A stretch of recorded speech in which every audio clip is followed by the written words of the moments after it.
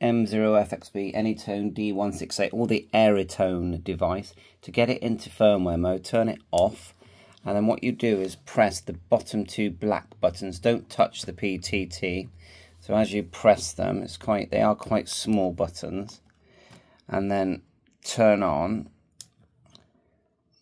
There you are. You'll know it's in firmware mode because the red light will flash. And that's it. And it will take all of the Anytone firmware and C and you can use the CPS from Anytone. And it's a great, it, it works. It's a very nice device. Dual receive, just turn it back on. Lovely colour screen, virtually identical to the Anytone 878.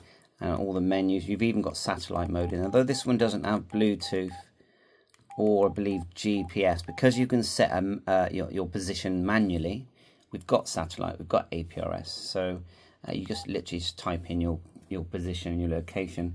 Anyway, great, lovely little device. Sounds great and looks great and very inexpensive. And I'll put a link in the description whether you want the Anytone model or the Aeritone. This is Anytone or the Aeritone, which is really the same radio with a different badge. Bye for now.